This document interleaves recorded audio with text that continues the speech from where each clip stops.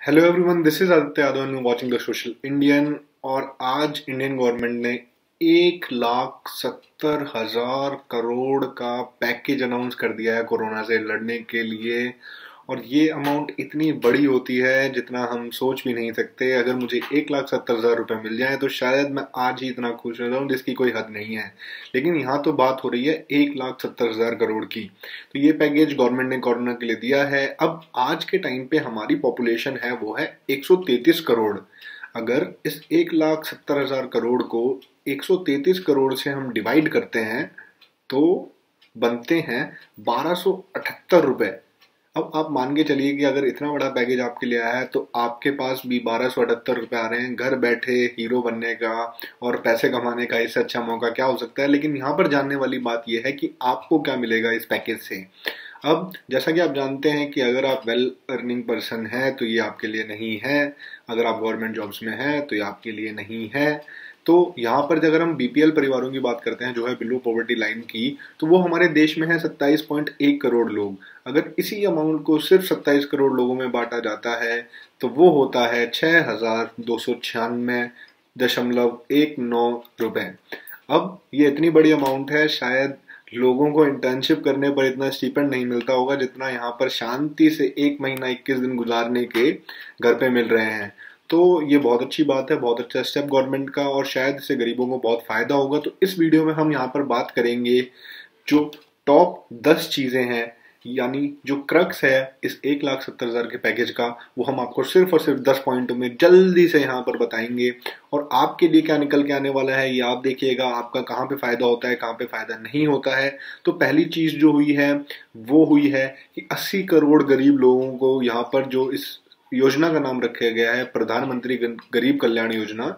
इसमें 80 करोड़ लोगों को एक किलो दाल और पाँच किलो राशन दिया जाएगा जून तक, हर महीने। हर महीने आपको मिलेगा एक किलो दाल और पाँच किलो राशन।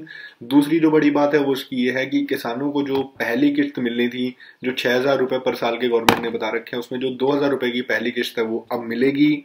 मनरेगा के जो एम्प्लॉयज़ हैं, उनके लिए यहाँ पर एक बड़ी खुशखबरी है तीसरे नंबर पर, जो है कि उनकी जो दिहाड़ी है, वो दो सौ दो रुपये हो जाएगी प्रतिदिन, जो पहले हुआ करती थी, एक सौ बयासी रुपये तो यहाँ पर उन्हें पूरे पूरे बीस रुपये का फ़ायदा होगा। सीनियर सिटीजन स्पेशली एबल्ड लोग, उनकी जो पेंशन मिला करती थी, उसमें हज़ार रुपये का इंक्रीमेंट हुआ है। तीन महीने तक उन लोगों को हज़ार हज़ार रुपये ज़्यादा मिलेंगे तो उनके लिए भी है ये फ़ायदे की बात। पाँचवें नंबर पर आती हैं महिलाएँ, जो महिलाएँ खाता धारक हैं 20 करोड़ महिला खाता धारकों को ये कहा गया है कि पाँच सौ रुपये प्रति महीना उन्हें मिलेगा तो उनके लिए भी एक अच्छी अपॉर्चुनिटी है, यहाँ पर पैसे उन्हें मिल रहे हैं। जो उज्ज्वला स्कीम थी, उसके तहत यहाँ पर जून तक सिलेंडर फ्री मिलेंगे तो खूब खाइए, खूब पकाइए और मज़े से रहिए, और क्या चाहिए इस लाइफ में?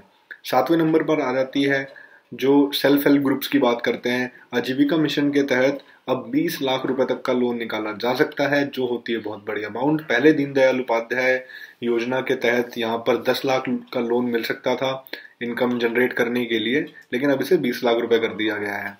अब जो हमारे लिए लड़ रहे हैं, आठवें नंबर पर खुशखबरी उनके लिए है, जो रोज दिन रात बीमारी से डट कर सामना कर रहे हैं कोरोना से।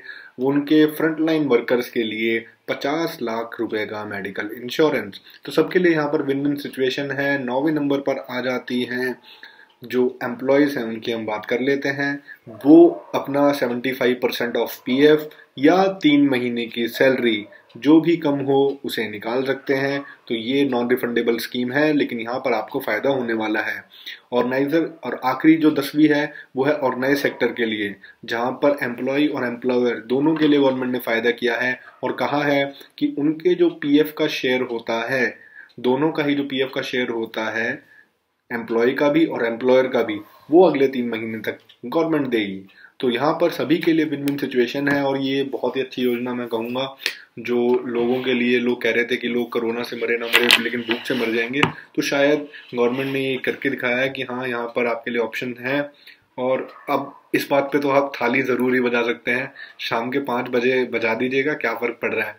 थैंक यू ही तो कहना है, किसी को भी कह सकते हैं। तो यहाँ पर ये बड़ी स्कीम है और इस स्कीम से क्या फ़ायदे होंगे, क्या नुकसान होंगे, हमारी इकोनॉमी को क्या इफ़ेक्ट पड़ेगा, लोगों पे क्या इफ़ेक्ट पड़ेगा, ये आप मुझे कमेंट कर कर ज़रूर बता सकते हैं। मैं आपके विचारों का ज़रूर ध्यान रखूँगा और आगे आपसे और विचार विमर्श करना चाहूँगा। इस वीडियो को यहीं पर ख़त्म करते हैं। भारत माता की जय। जय हिंद। मिलते हैं अगली वीडियो में। तब तक के लिए लाइक कर दीजिए शेयर कर दीजिए और सब्सक्राइब कर दीजिए। और साथ ही साथ हमारे को इंस्टाग्राम फेसबुक पे फॉलो कर दीजिए। Piece bye